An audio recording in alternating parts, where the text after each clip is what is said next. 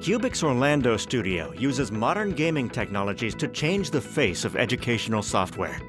Our training programs bring trainees into immersive, realistic environments where they undergo in-depth simulated training before setting foot in the workplace. We leverage the expertise of our talented workforce through the use of cross-functional teams. This way, subject matter experts, instructional systems designers, game content developers, artists, and simulation engineers collaborate at a higher level. We also use a collection of custom-made programs to build our courseware. These programs make up the studio's toolset. Developed in-house, all of these tools are designed to be easy to use by a variety of skill sets.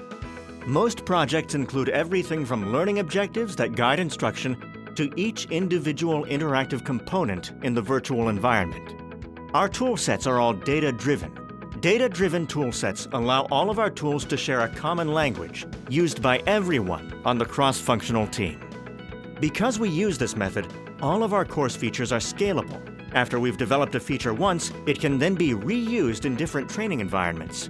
This scalability allows us to apply the training features required by the customer on a case-by-case -case basis, allowing for a fully tailorable training product.